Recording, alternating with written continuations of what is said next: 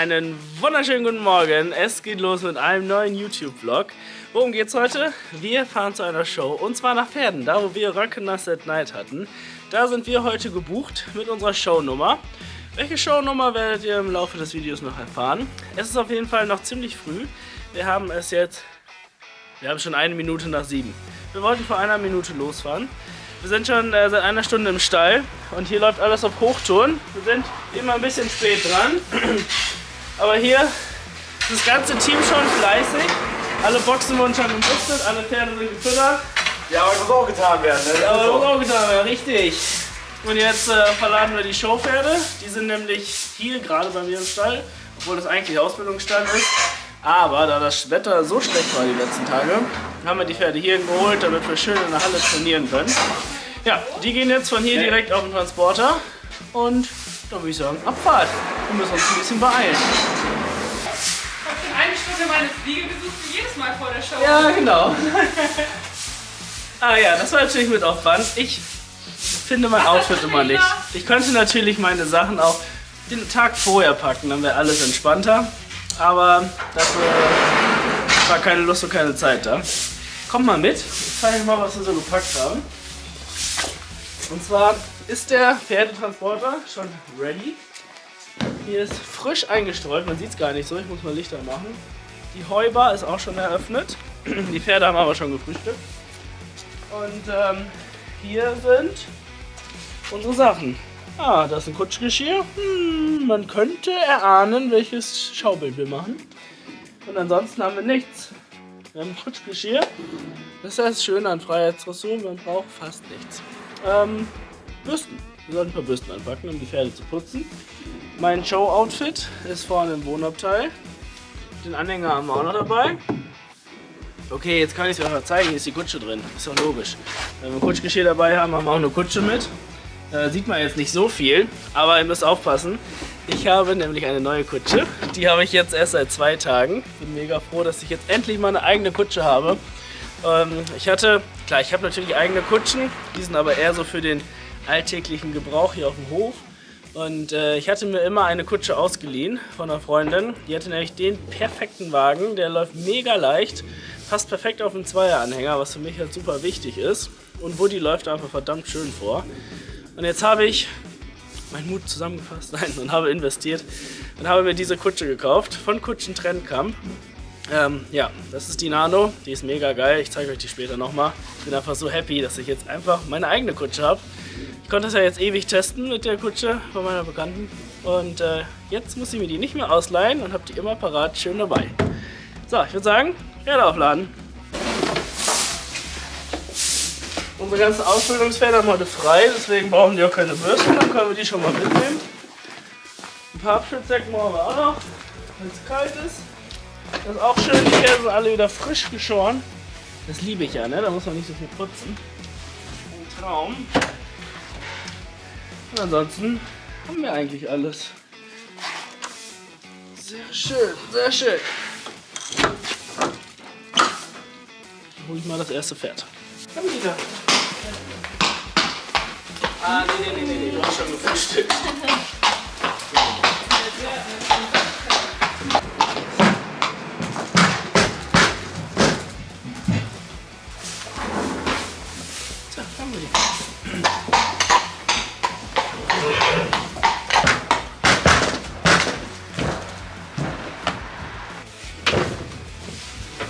So, Woody und Dealer sind schon drauf. Und äh, ich habe das letzte auch noch ein paar Mal in den Kommentaren gelesen, dass die Frage kam, warum ich meine Pferde eigentlich so nackt fahre sozusagen. Also meine Pferde haben ja keine Transportgamaschen drauf. Die, so wie sie aus der Box kommen, gehen sie auf den Transporter. Ich habe einfach die Erfahrung gemacht im Laufe der Jahre, dass das so am allerbesten funktioniert. Ich habe die früher auch komplett eingepackt, die Pferde, bis an Ohrenspitzen. Und habt ihr schon so oft erlebt, dass die Pferde sich die Transportgamaschen runtergetreten haben. Dann werden die unruhig, weil die zwischen den Beinen klemmen und solche ganzen Pangeleien. Und ja, deswegen fahre ich die Pferde einfach so, wie sie sind. Und muss sagen, da habe ich die allerbesten Erfahrungen mitgemacht. Einen Stellplatz haben wir natürlich noch frei. Der ist für Cody. Cody bekommt hier unten ein bisschen Heu hin. Der kommt da oben ja gar nicht dran. Den holen wir auch noch mal fix, der steht im anderen Stall. Der King kommt auch. Cody ist auch frisch geschoren. Das ist immer richtig schön. Wenn Cody geschoren ist, dann ist er immer gleich 50 Kilo leichter. Sieht zumindest so aus.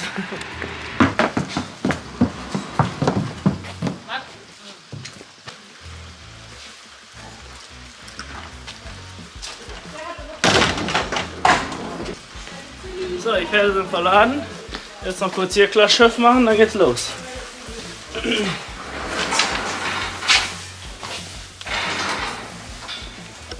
Gut, alle Horses versorgt, alle Türen sind zu. Let's go! Yes. Die Pferde sauber dran. Okay, danke. Let's go. Los ging's ab nach Pferden. Fix über die Autobahn, wir sind circa zwei Stunden gefahren und sind wirklich gut durchgekommen, im Gegensatz zu den Cheerleadern, die ihr gleich noch fahren werdet. Die standen nämlich im Stau, wir aber zum Glück nicht. Eine kleine Pommes, eine Chicken Nuggets und zwei Cheeseburger, bitte. Und eine Matterplatte.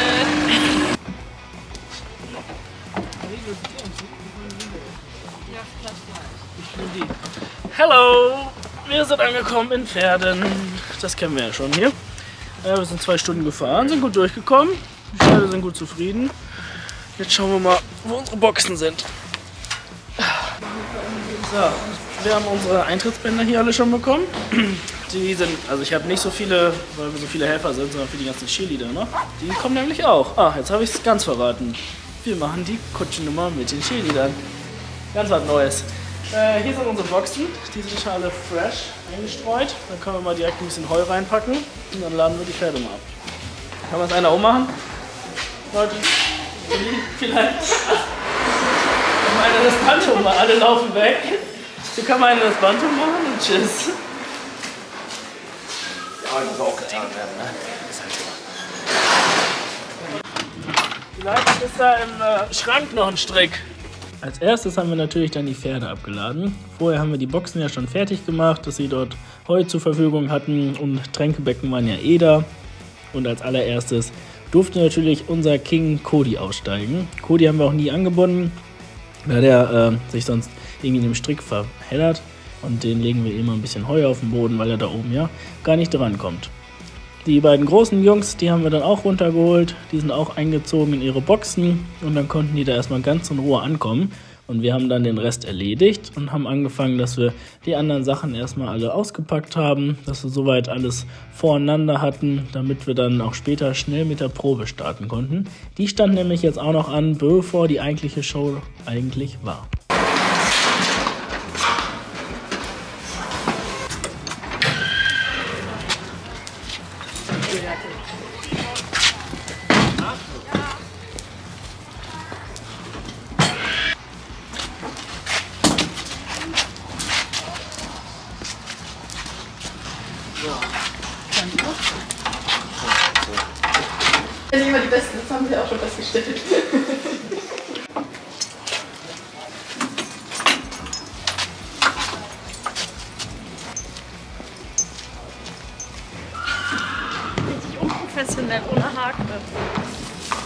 So, die Pferde sind hier eingestallt. Jetzt äh, schauen wir nochmal, dass wir alles besprechen für die Show. Und äh, die Pferde werden auch schon fertig gemacht für die Probe. Wir haben nämlich vor der Show noch eine kleine Probe, dass wir den Pferden einmal die Halle zeigen können.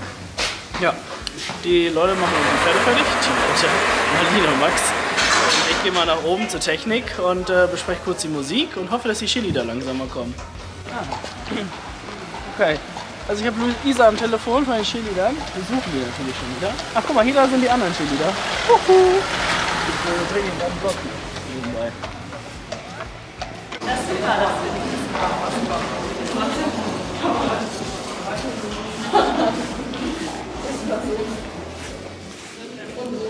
Ja, den Laden kennen wir ja schon.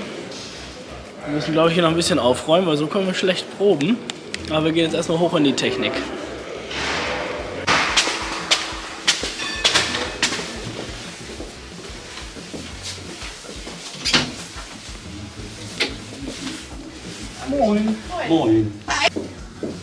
Ja, für die Lichtwechsel nämlich würden die mir dann das über Julianas Funk durchgeben. Also, die können das Licht nicht ausmachen, weil es dann nicht wieder an. Bedeutet, Geil. Das schöne LED-Tuch ist eigentlich. Überflüssig? Wir haben jetzt alles besprochen, ähm, haben noch ein paar Änderungen machen müssen, da da so riesen Blumenkübel einfach jetzt stehen. Die müssen auch stehen bleiben. Naja, ich hoffe, dass die Pferde nicht probieren, diese Blumen zu essen, weil das ist Plastik. Das wäre übelst der Fail. Ich sehe Cody danach auch schon hinlaufen, wie er einfach diese Blumen frisst. Naja, wir holen jetzt die Pferde. Die Cheerleader kommen jetzt auch alle. Die sind alle ein bisschen spät, weil die im Stau standen. Aber wir starten jetzt mit der Probe. Die Pferde wurden zum Teil schon fertig gemacht von meinen tollen Helfern, damit wir wirklich fix dann in die Probe starten konnten. Wir hatten nämlich nicht ganz so viel Zeit. Woody wurde dann erstmal wieder angespannt hier auf der Stallgasse und ich muss sagen, mittlerweile sind die da echt schon ziemlich routiniert und die interessiert das nicht so wirklich, auf was für eine Stallgasse wir die Pferde jetzt fertig machen. Wir sind dann auch direkt in die Halle reingegangen und haben den Pferden erstmal ganz in Ruhe nochmal die Halle gezeigt. Die kennen die Halle ja schon ein bisschen von Röckeners at Night. Aber jetzt war sie natürlich anders geschmückt, hatten andere Lichteffekte. Von daher ist es immer gut, den Pferden das vorher nochmal zu zeigen. Die Cheerleader haben sich dann auch erstmal eingestuntet und warm gemacht. Und Cody wurde allerbestens umsorgt von Jolene, von meiner Praktikantin. Die beiden verstehen sich echt super. Der wurde erstmal schön geknuddelt und ich habe die anderen beiden warm gemacht, zusammen mit Max. Wir sind erstmal locker außen rum getrabt, um die Pferde warm zu machen und alles zu zeigen. Und dann konnten wir auch starten und wir haben einen Durchlauf nochmal vor Ort gemacht in der Probe. Und somit haben wir dann alles voneinander gehabt, haben die Musik abgestimmt und waren gut zuversichtlich, dass wir mit der Show starten können. Wohler, junge Hengst, wohler, junge Hengst. Wir haben noch einen jungen Hengst dabei, den muss ich noch ein bisschen erziehen, aber sonst, die anderen Pferde waren alle gut. Jetzt holen wir die Kutsche wieder weg. Die Ähm, nehmen die Kutsche weg, machen alles ready für die Show. Und dann gucken wir noch ein bisschen, was hier so geht. Wir wollen auf jeden Fall noch was essen. Dann heben wir noch eins mal die Hand für so ein nettes Pferdchen, glaube Die ich. Auktion ist hinterher. Ach, schade. Aber das ist auch Online-Auktion. Ja, steht gar kein Licht an. Und wie geht das hier? Äh, jetzt geht's zu. Was machen wir, Marlene? Showbesprechung? Showbesprechung. Schauen wir mal, was wird. Was wird? Was wird? In der Showbesprechung wurde einfach nochmal alles besprochen, der komplette Ablauf von den anderen Teilnehmern auch, wer bereitet wann welche Pferde vor. Und die Musik wurde besprochen, das Licht, genau. Somit stimmt alles und wir haben uns die Auktion angeguckt. Hat es 100, bringt mit, wenn ihr wollt. Genau, nee, nee, nee. Oh Gott, oh Gott. Die äh, Besprechung ist ja durch. Wir schauen uns jetzt mal hier an, was so läuft. Und es werden jetzt noch die jungen Hengste, glaube ich, gezeigt und die Fohlen. Ja, und äh, nach unserer Show beginnt nämlich direkt die Versteigerung. Da können wir leider nicht zugucken. Aber ich glaube, Max, du wolltest dir noch einen Fohlen mitnehmen, ne? Ja. Ja. Einen nehmen wir mit. Wir schauen mal, welcher der Beste ist. Und dann können wir gleich auch on online bieten. Bin gespannt, ob da was Nettes dabei ist. Transport and many Grand Prix Dressage Horses. Volvo Finero für den Tanz, die in die Zwei-Sterne-Klasse geht. Klasse S mit sowie Schleit. The lead auction catalog number 6. So, wir haben uns ja die Fohlen gerade schön angeguckt. Ähm, jetzt gibt's Essen. Mittagessen. Max, hast du den Fohlen rausgesucht? Jo. Welches wird's? Ähm, wie hieß die Liebe nochmal? Weiß ich nicht. Blumenliebe oder so. Blumenliebe? Aber war toll. Na toll. Ja, mal, gucken. So gleich mal ein bisschen die Hand heben. Also Max muss die Hand heben, sonst darf ich das nachher noch Aber zahlen. erstmal muss ich den Katalog gucken. Ja, wir schauen uns das nochmal ein bisschen genauer an. Und dann müssen wir auf der Rückfahrt schön online mitbieten.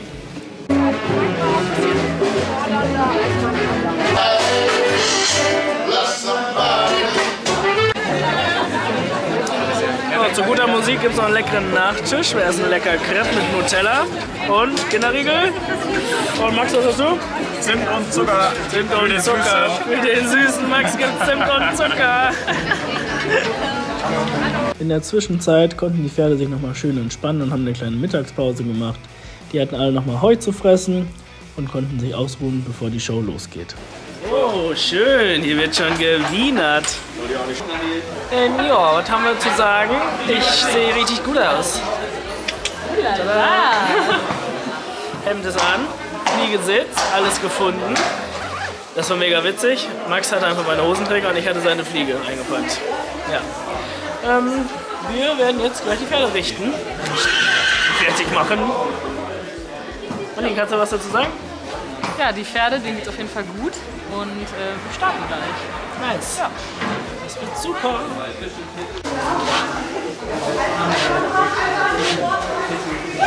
Die Pferde wurden nochmal alle schön frisch gemacht. Die waren natürlich schon sauber von der Probe davor.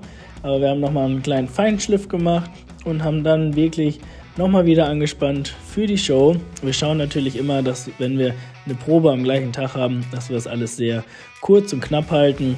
Wir machen die Pferde da jetzt nicht lange warm. Die Show an sich, die ist auch nicht körperlich anstrengend für die Pferde. Das ist eher so für das Köpfchen vielmehr für die Tiere hier. Deswegen schauen wir, dass wir das vorher alles ganz entspannt halten und jetzt nicht da die Pferde stundenlang warm machen. Meistens machen wir sie wirklich nur 10, 15 Minuten warm und fahren dann auch schon in die Show. So haben wir es hier heute auch gemacht. Bei der Probe hatten wir die Pferde ein bisschen warm gemacht, um die Halle zu zeigen. Jetzt hatten wir auch noch circa so 15 Minuten, bevor die Show losging. Sind einfach nochmal entspannt ein bisschen Schritt gefahren und haben die dann noch ein bisschen aufgewärmt. Haben ein, zwei Lektionen vielleicht nochmal wiederholt. Aber ich sage immer, trainiert wird zu Hause. Das brauchen wir vor Ort nicht mehr. Und die Cheerleader haben sich dann auch warm gemacht. Und somit waren wir dann alle ready und haben nur noch gewartet, dass es endlich losgehen kann.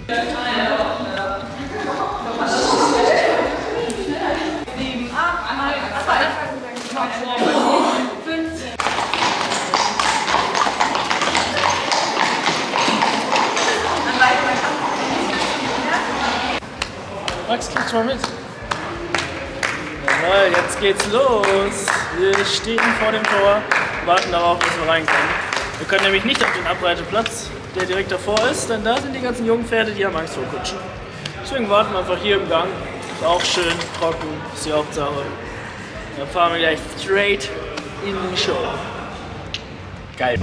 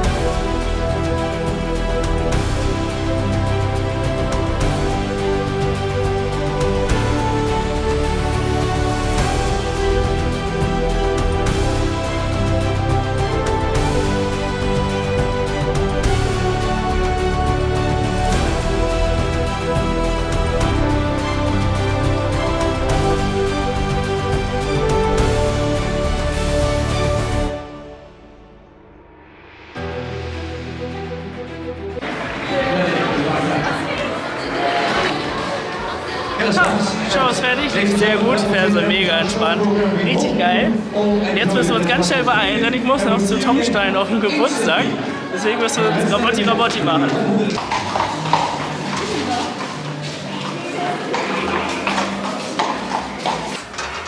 Jolien, weil Jolien. Das ist ganz hinten im Schweif.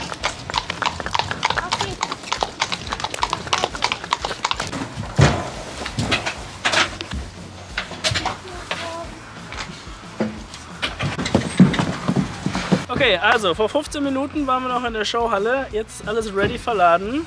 Und jetzt geht's nach. Hause. Uh. ja, ab nach Hause. Ich muss los zu Tom pokern. Geiler Tag, ich muss ins Casino. Ich muss ins Casino. Als ob wir die Zocker wären.